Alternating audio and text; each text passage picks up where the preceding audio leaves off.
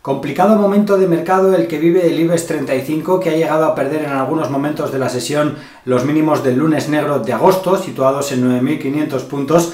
Esta zona de soporte es muy importante para el IBEX y no la debería perder a corto plazo si no queremos ver caídas adicionales en la bolsa española.